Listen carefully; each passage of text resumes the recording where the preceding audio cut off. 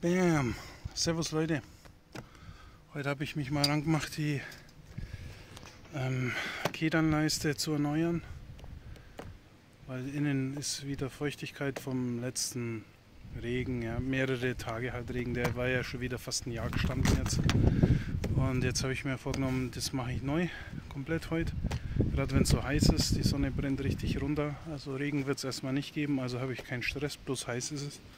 Aber ich mache es am liebsten, wenn es heiß ist, weil dann ist der Gummi auch weich. Und dann geht es auch gut ab. Also vorne habe ich schon abgeschraubt. Neuen Gummi habe ich auch schon äh, gekauft, der liegt zu Hause. Muss ich nochmal nach Hause fahren, den später holen. Kotzt mich voll an, dass ich nochmal los muss. Aber. Ähm, hinten ist schon abgeschraubt oben, wie man sehen kann. Hier bin ich gerade dabei. Bis hier runter und dann, äh, ja, dann schauen wir weiter. Schraube ich jetzt mal ab und dann sehen wir uns vielleicht nachher wieder. Bis dann. So, wieder da. Hier habe ich teilweise ja schon fast alles ab. Muss ich noch ein bisschen sauber machen und dann kommt ein neuer Gummi drum. Hier muss ich noch wegmachen. Der neue Gummi liegt schon hier. Und glaube ich 10 Meter, was ich damals gekauft habe. Wie schaut der aus? Eine Seite so, die andere Seite so. Und hier Doppellippe und die kommt aufs Fahrzeug, also aufs Blech.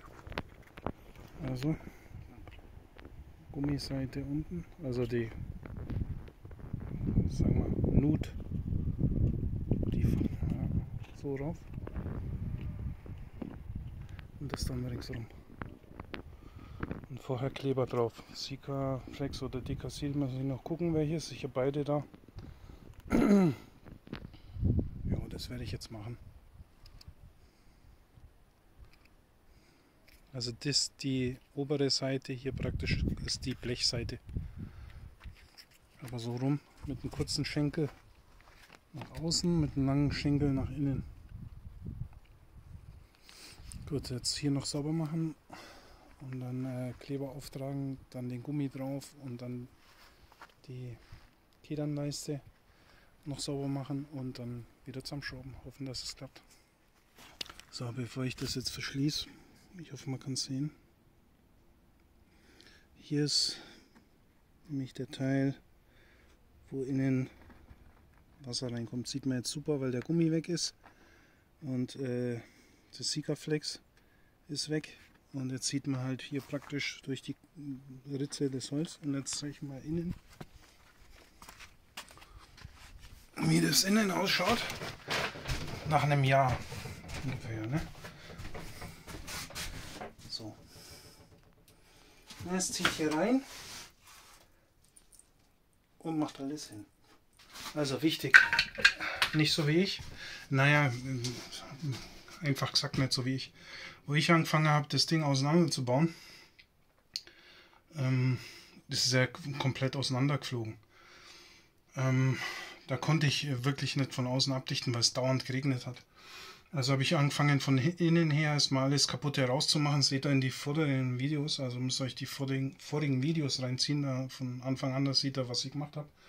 Und ich konnte fast nicht von, eigentlich, eigentlich konnte ich nicht von außen abdichten, ähm, weil es dauernd geregnet hat. Aber irgendwie musste ich ja anfangen. Dann habe ich halt innen angefangen, das alte rauszuhauen.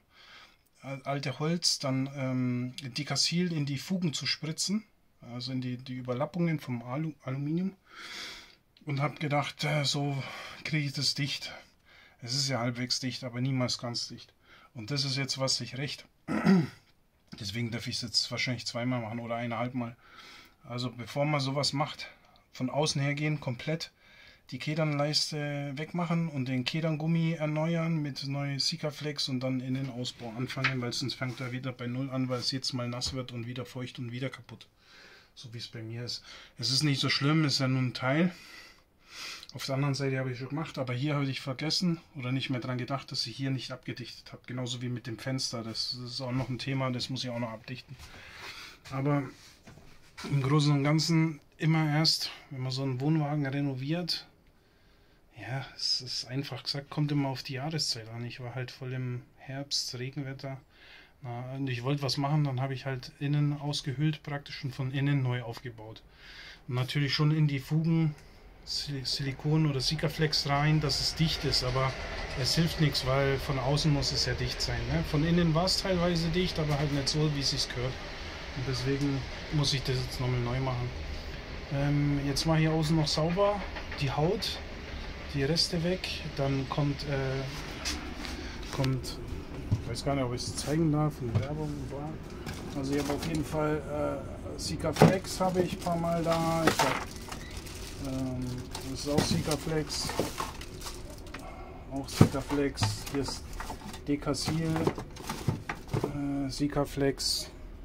Ach, man kann nichts sehen. Sikaflex, Decasil und so weiter. Ne? Alles da. Also wirklich ähm, dafür. Also das nehmen zum Abdichten, weil sonst fängst du, verzählt es ja immer wieder mal an. Also das sind so die zwei Komponenten, die wo man für einen Wohnwagen zum Abdichten äh, braucht definitiv. Und natürlich die ähm, Gummileisten, ganz wichtig.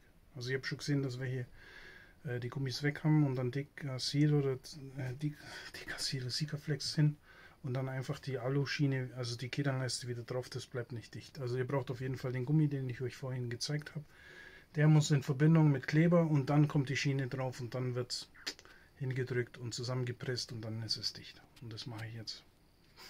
Mega geil, ich bin fast durch. Jetzt fängt es doch zum Regnen an. Ich hätte schwören können, heute regnet es nicht. Es war so heiß.